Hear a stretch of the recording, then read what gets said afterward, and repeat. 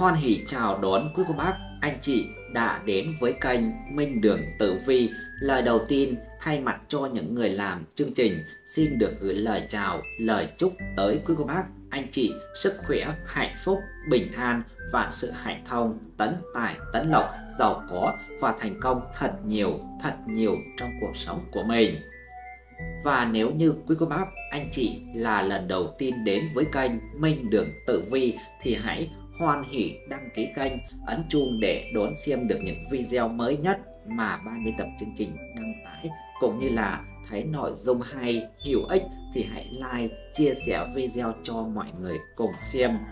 Và quý cô bác, anh chị cũng đừng quên để lại ý kiến đóng góp ở phía dưới phần bình luận kênh Minh Đường Tử Vi vô cùng cảm ơn quý cô bác, anh chị. Và trong nội dung video ngày hôm nay mà ban biên tập chương trình gửi tới quý cô bác, anh chị đó chính là tử vi tuổi canh tí sinh năm 1960, lương thượng chi thử tháng 10, tháng 11 và tháng 12 âm lịch năm 2023 vượt qua bao trở ngại, tự tạo vận may, nắm bắt thời cơ, đổi đời hưng vượng, niềm vui sẽ đến, tiền bạc đủ đầy, tiêu xài thỏa chí.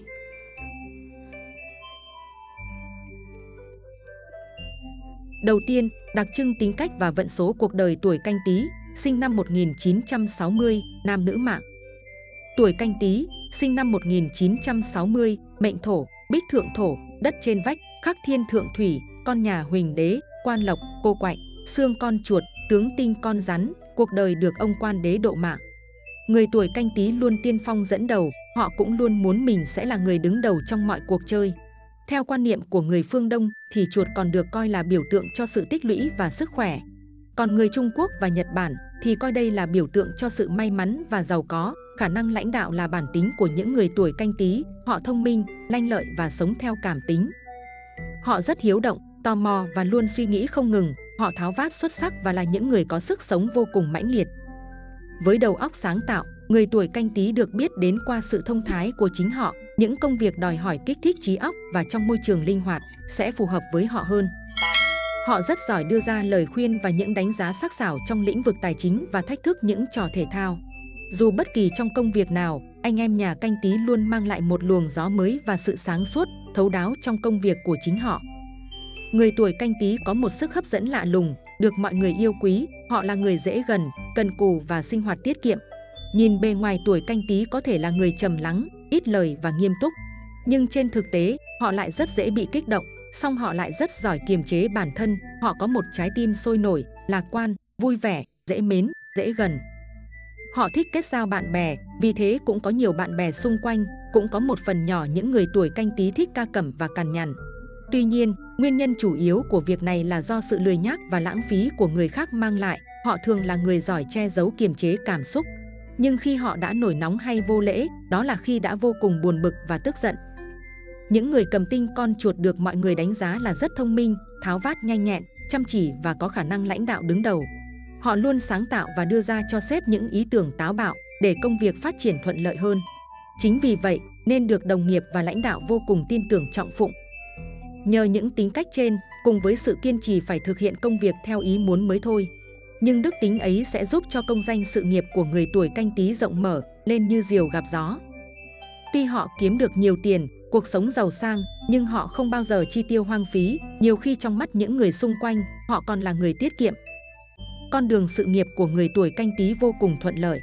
Nhưng ở đường tình duyên lại không được như vậy, họ đã yêu một ai đó thì sẽ rất nồng nhiệt, dành trọn vẹn tình cảm cho người đó mong muốn đối phương của mình cũng đáp trả lại như vậy. Khi yêu họ sẽ nhường nhịn, quan tâm và chăm sóc người bạn đời rất nhiều, nhưng lại ghét bị kiểm soát. Chính vì vậy, nên nhiều khi họ sẽ cho đi nhiều hơn là nhận lại và sẽ cảm thấy mệt mỏi trong tình yêu. Nam mạng Cuộc đời của những người nam tuổi canh tí sẽ có nhiều thay đổi tích cực. Khi vào độ tuổi từ 30 trở đi, lúc này bạn sẽ dần gặt hái được thành công trong công việc, dư giả hơn trong chuyện tiền bạc. Về gia đạo, Mọi người trong gia đình rất ít khi cãi nhau nên cuộc sống thường hòa thuận vui vẻ. Càng về già, cuộc sống của bạn càng an nhàn, thành thơi hơn khi còn nhỏ. Tuy nhiên, sức khỏe của bạn không được tốt, vì vậy cần chú ý chăm sóc sức khỏe, chế độ ăn uống hàng ngày nhiều hơn nữa. Nữ mạng Cuộc đời của nữ mạng canh tí suôn sẻ, không có nhiều vất vả, khổ cực. Càng về trung vận, hậu vận cuộc sống càng hạnh phúc, yên ấm và nhận được nhiều niềm vui từ con cháu. Gia đạo thì thường ấm no, hạnh phúc do các thành viên trong gia đình biết giúp đỡ lắng nghe ý kiến của nhau, đồng thời vun vén giữ gìn hạnh phúc gia đình. Sức khỏe của bạn cũng khá tốt, ít ốm đau, bệnh tật, nếu biết làm nhiều điều tốt, tích đức thì sẽ kéo dài tuổi thọ. Và sau đây là chi tiết các phương diện cuộc sống của tuổi canh tí, sinh năm 1960, trong 3 tháng cuối năm 2023 như sau. Đầu tiên là về mặt sự nghiệp. So với tử vi tuổi Tý những năm đầu tháng vẫn còn khá thuận lợi, sang 3 tháng cuối năm 2023 này, quý mệnh mới thực sự phải chịu trận. Với những hung hiểm phải đối diện, hung vận gia tăng liên tiếp ảnh hưởng, đồng thời với hai cục diện hại thái tuế và hạn tam tai 2023.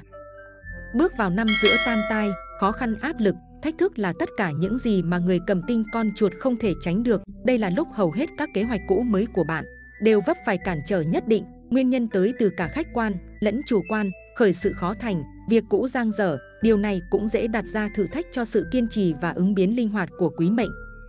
Năm 2023 có thể là năm hạn nặng nhất trong những lần tam tai này, chính vì thế, tuổi Tý được khuyên làm gì cũng cần chú ý nhé, mọi việc bạn nên liệu sức mình mà làm, tránh đặt mục tiêu quá cao, tham vọng quá lớn, kẻo trèo cao thì ngã đau, tốt nhất là nên chịu khó học hỏi để tăng cường thực lực của bản thân.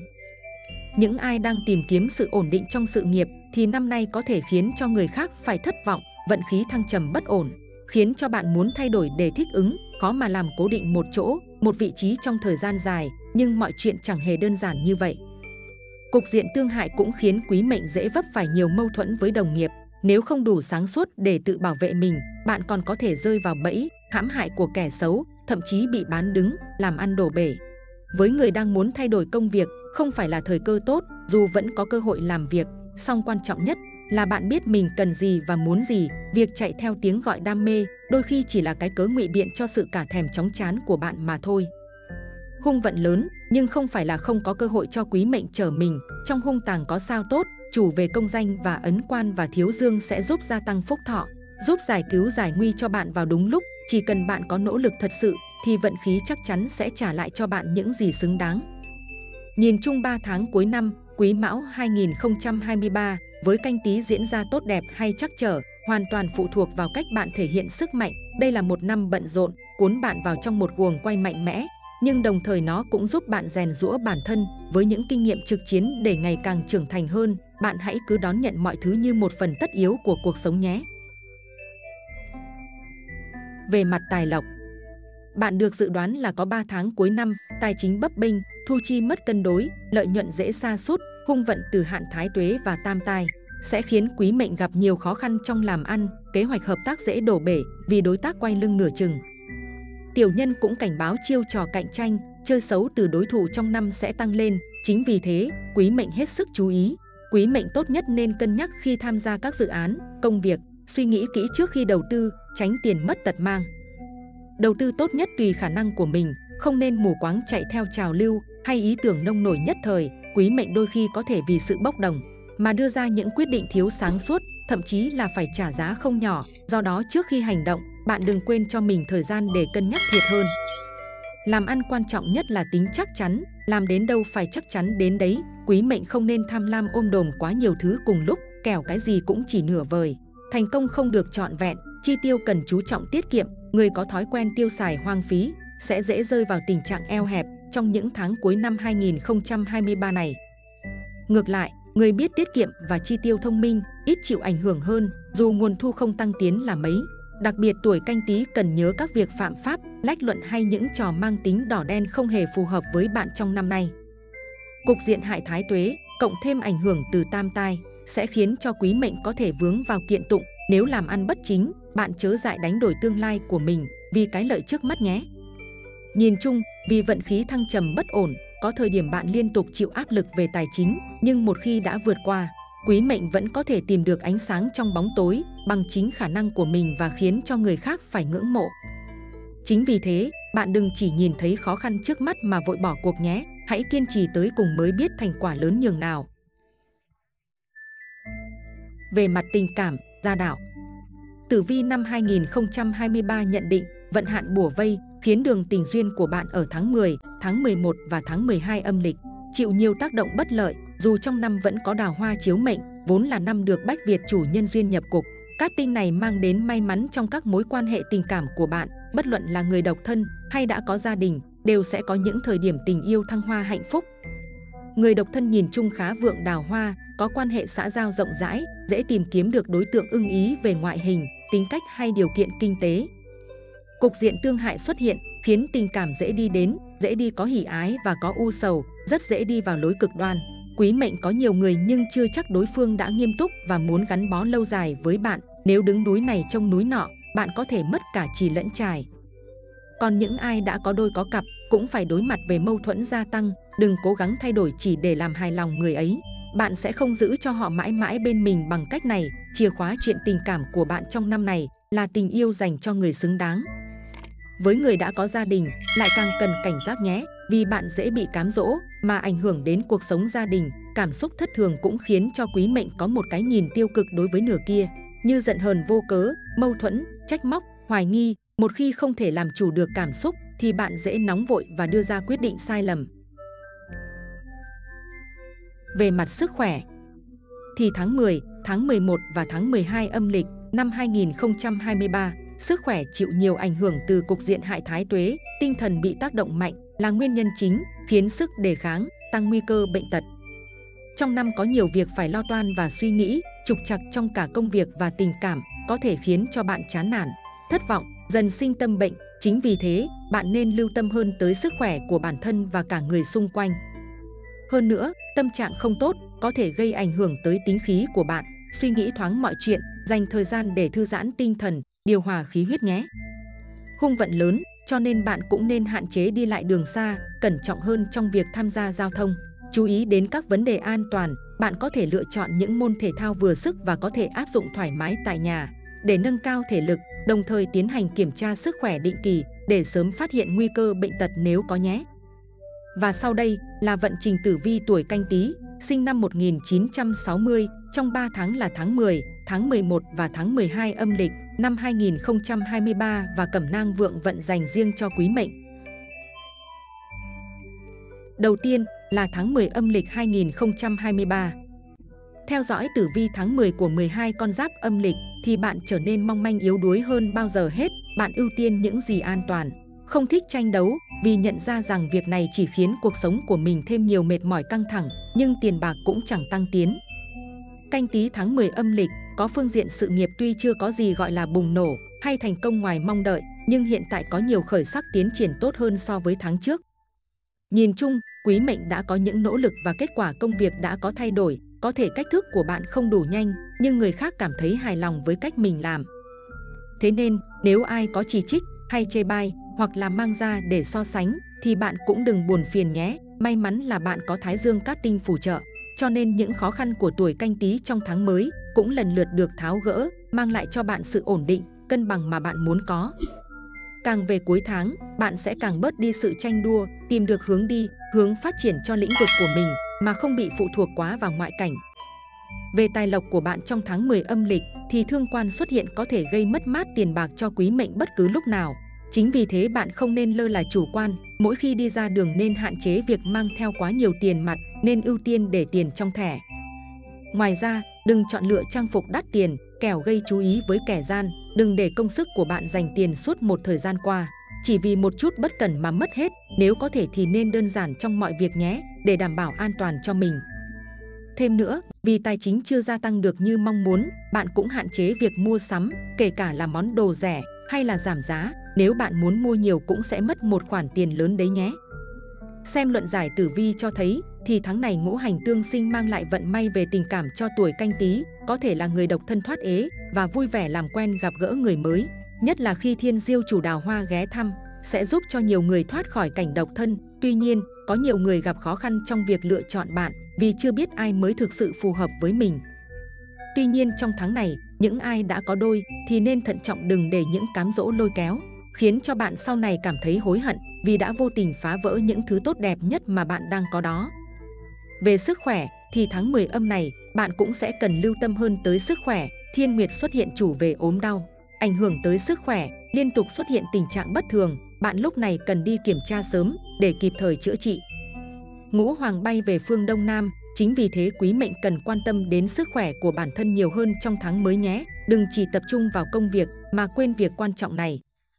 Ngoài ra, bạn cũng nên hạn chế uống rượu bia, chúng không chỉ ảnh hưởng tới sức khỏe thể chất mà còn tác động đến cả tinh thần của bạn nữa đấy.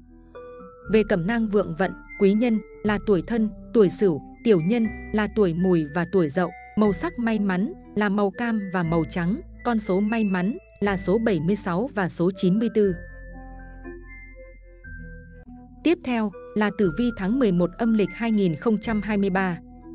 Tháng mới, hối hả và nhiều sự thay đổi theo chiều hướng tích cực hơn. So với tháng 10 âm lịch thì tháng này với nhiều dự định kế hoạch ấp ủ. Bạn có thể đón nhận vài tín hiệu vui trong tháng này đó là kết quả sau những nỗ lực phấn đấu suốt thời gian dài vừa qua. Bạn đừng quên chia sẻ điều đó với người bạn yêu mến.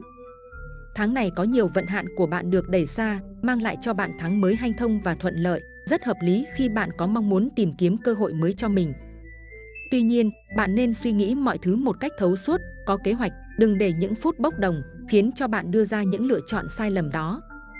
Chính ấn xuất hiện trong tháng mới nâng đỡ và đẩy công việc của bạn thuận lợi hơn khi mà mọi thứ đi vào guồng quay sẽ đỡ tốn công sức hơn trước đây với sự xuất hiện của các tinh hỗ trợ. Cho nên tháng mới này bạn có tài lộc rất dồi dào, có nhiều cơ hội mới thu hút tiền bạc về mình, có nhiều người làm ăn có lợi, số đơn đặt hàng tăng lên đáng kể trong tháng 11 âm lịch này. Tuy nhiên, ngũ hoàng nhập cục chính Tây báo hiệu quý mệnh trong tháng này dễ bị tiểu nhân hãm hại, dẫn đến họa kiện tụng, dính dáng tới pháp luật. Do đó, những gì liên quan đến tiền cần phải minh bạch, rõ ràng. Nếu có tiền trong tay thì ưu tiên trả những khoản nợ, còn những khoản mà có lãi suất cao thì bạn cần trả ngay lập tức nhé. Chớ để đêm dài lắm mộng, thêm phiền phức khi bạn có tiền lại làm việc khác, thậm chí là để cho đi, nhưng cố tình ngó lơ khoản nợ của mình. Tháng 11 của tuổi canh tí âm lịch, ngũ hành xung khắc cho thấy khả năng xảy ra xung đột trong suy nghĩ và hành động, khiến tình cảm giữa hai người dạn nứt. Tuy nhiên, nếu được ai đó chia sẻ, thì bạn sẽ sớm nhận ra rằng bản thân đã suy nghĩ quá nhiều, đối phương là người tốt bụng, hiền hòa. Và bên cạnh đó có một số nhược điểm là điều không thể tránh khỏi. Chính vì thế bạn hãy đón nhận và yêu thương thay vì chỉ trích đối đầu bạn nhé. Về sức khỏe, đây là thời gian bạn nên tập trung rèn luyện sức khỏe, chăm sóc thể chất tinh thần, dành thời gian ở bên người thân yêu nhiều hơn vì yếu tố tinh thần cũng phần nào giúp cho bạn cải thiện được bệnh tật. Nhất là những ai có bệnh nặng thì thời gian này cũng cảm thấy đỡ hơn trước, có nhiều thời gian hơn để thực hiện các dự định còn dang dở. Ngoài ra, những ai đang bận rộn vì công việc thì đừng cho rằng mình khỏe mà bắt đầu lơ là dù đang bận đến đâu thì bạn cũng đừng quên sức khỏe là yếu tố quan trọng bởi khi có sức khỏe bạn mới có thể đảm bảo tốt công việc và duy trì các mối quan hệ tốt được. Về cẩm nang vượng vận, quý nhân là tuổi Tý và tuổi Thìn, tiểu nhân là tuổi Tỵ và tuổi Ngọ, màu sắc may mắn là màu đen và trắng, con số may mắn là số 86 và số 97. Cuối cùng là tử vi tháng 12 âm lịch 2023. Theo dõi tử vi hàng tháng thì bước sang tháng chạp, tuổi canh tí chịu sự chi phối của cục diện tương phá, báo hiệu tiểu nhân đeo bám, gây cản trở nhiều trong công việc cuối năm. Công việc dồn ứ nhiều, gây ra áp lực khiến cho bạn phải tất bật cả ngày, thậm chí còn phải tăng ca. Mang việc về nhà làm, ấy vậy mà có kẻ ghen ăn tức ở, tìm cách nói xấu sau lưng, nhằm trục lợi cá nhân. Nhưng may mắn là quý mệnh có nguyệt lệnh lâm quan đới ủng hộ, lại có thiên đức soi đường dẫn lối, cho nên bạn hoàn thành mọi việc đúng tiến độ, cấp trên không những không phàn nàn, mà còn ghi nhận và tặng thưởng xứng đáng cho bạn.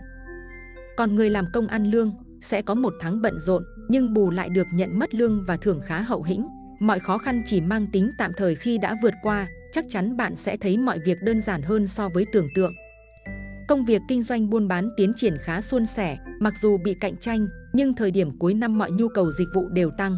Chính vì thế, quý mệnh nhân cơ hội này mở rộng quy mô kinh doanh nhé, thúc đẩy doanh số bán hàng hứa hẹn về thành quả xứng đáng.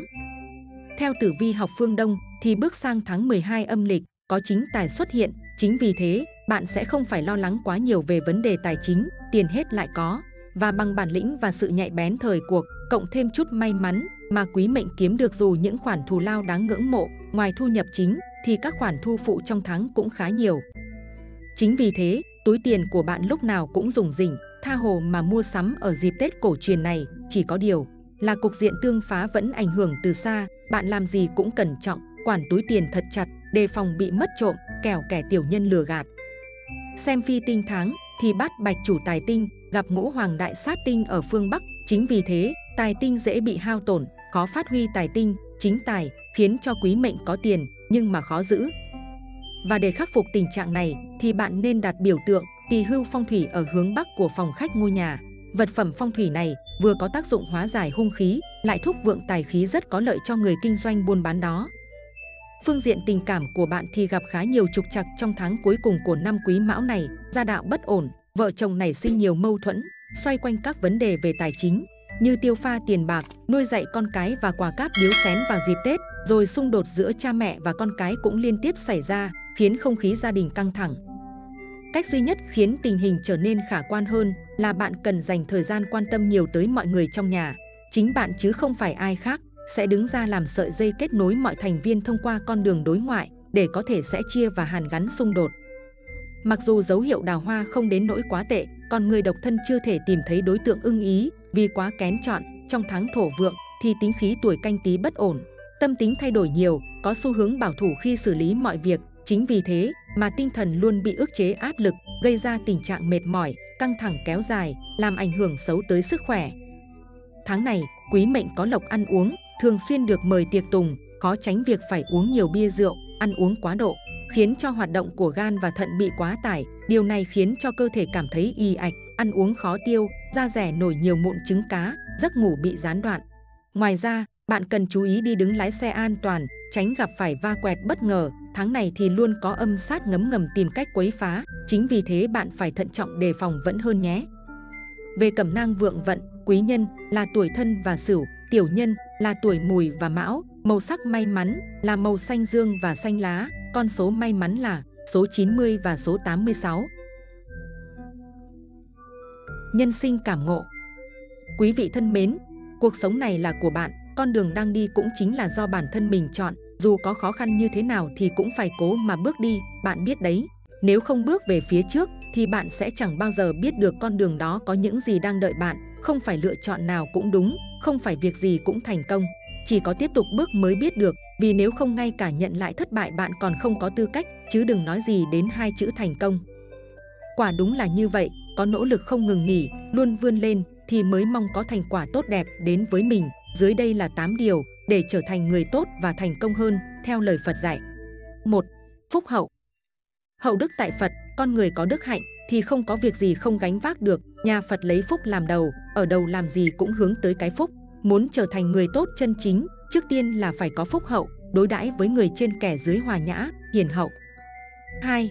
Lương thiện Ban ngày không làm chuyện khuất tất, ban đêm không sợ ma gõ cửa, nhà Phật hướng thiện, lấy lương tâm làm thước đo của một người. 3. Giữ chữ tín Người có tín thì vạn người tôn trọng, người bất tín thì vạn người khinh khi, làm người lấy chữ tín gian mình, không dối trá, thất hẹn với người khác, chính là tiêu chuẩn Phật dạy làm người tốt. 4. Khoan dung Khoan dung chính là vĩ đại, làm người không nên chấp nhận thất bại, mà phải có cái nhìn thoáng rộng, sẵn sàng tha thứ cho sai lầm, để giáo hóa cái sai bằng tấm lòng. 5. Thành thật Điều cơ bản này hẳn ai cũng biết, thật thà là cha giả dối, làm người phải đàng hoàng, thẳng thắn, kẻ lươn lẹo, dối trá, tất bị quả báo. 6. Khiêm tốn Phật dạy làm người tốt, tức là không được ngừng tu dưỡng, cố gắng luôn kính trên nhường dưới, thắng không kiêu, bại không nản, khiêm cung giữa mình. 7. Chính trực Người sống ở đời phải chính trực, không dèm pha su nịnh, dám nhìn thẳng vào sự thật, dám đấu tranh vì lẽ công bằng. 8. Kiên trì Phật dạy làm người tốt và thành công hơn trong cuộc sống thì phải thật kiên trì, dũng cảm đối diện, không nao núng, chỉ cần tu dưỡng tốt, công lao không bao giờ phí. Vâng, quý vị thân mến, vừa rồi là những chia sẻ rất tâm huyết đến từ ban biên tập chương trình về tử vi tháng 10, 11, 12 âm lịch, năm Quý Mão 2023 cho người tuổi canh tí, sinh năm 1960. Minh Đường Tử Vi rất mong rằng quý vị sẽ đón nhận được nhiều may mắn trong tháng mới và làm giàu cho bản thân mình, cho xã hội. Minh Đường Tử Vi vô cùng cảm ơn quý vị đã quan tâm và theo dõi chi tiết hết video của chúng tôi. Mọi ý kiến đóng góp và thông tin cần được tư vấn hỗ trợ, vui lòng comment ở bên dưới và bình luận. Ban biên tập chương trình sẽ tư vấn và giải đáp miễn phí cho quý vị trong thời gian sớm nhất. Mến chúc quý vị luôn mạnh khỏe, hạnh phúc, giàu có và thành công hơn nữa trong cuộc sống của mình. Chương trình đến đây là hết. Xin chào và hẹn gặp lại trong những chương trình lần sau.